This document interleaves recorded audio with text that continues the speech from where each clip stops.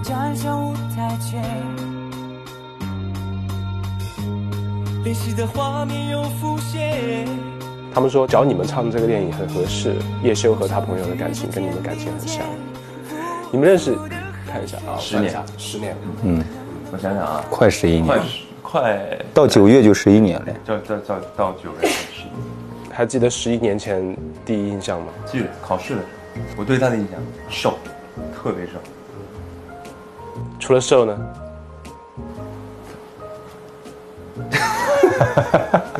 他那时候的发型就有点像 cosplay 现在的对叶修，cosplay 那种，就是那种就鬓角到这儿，嗯，这么长鬓角，对特别长，你的意思是好看还是不好看？不好看。就是那个时期，就是属于像李宇那个李宇春啊，包括他们那一时期是正好火的时候，那个时候都时髦那个发型，应该是零零九零八年啊，零九零九零九年嘛，对啊。那你还说不好看？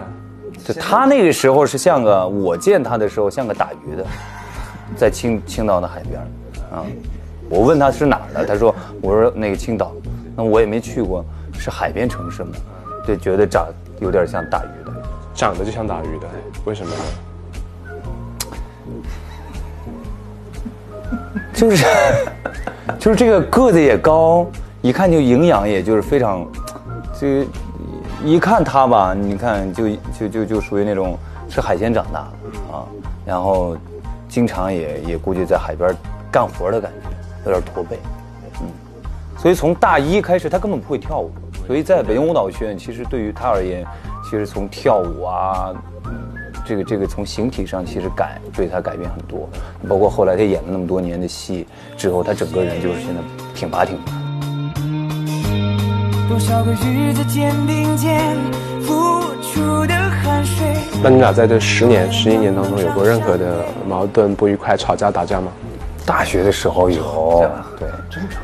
大学的时候有，就经常会会会因为排练的时候啊，哎，意见不合，这经常的。其实还好凶的一次吗？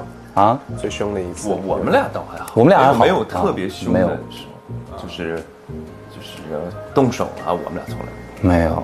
对，就是最最多就是稍微哎磕磕一下。啊，对，我不服啊，回啊，对对对对，回两句嘴啊，然后对对对对两个小时不说话呀，对，希望你们以后能有机会打场架，打过架的感情会更深的。嗯，那一会儿吧，行，咱准备俩拳击拳击手手手套，对，我一般都用兵器。兵器。